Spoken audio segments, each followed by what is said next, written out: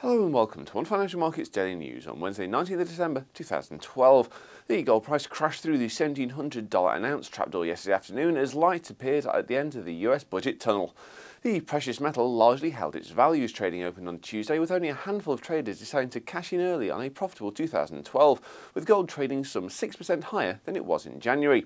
there was a sense of profit taking continuing throughout the day, although significant movement only came about when it was reported that President Obama had offered Congress new budget terms. Although these moved the two sides closer, they were rejected, while the gold price still managed to fall even further later in the day when House Speaker John Boehner unveiled a Plan B that will extend current tax rates for most Americans, even if the country does end up toppling off the fiscal cliff.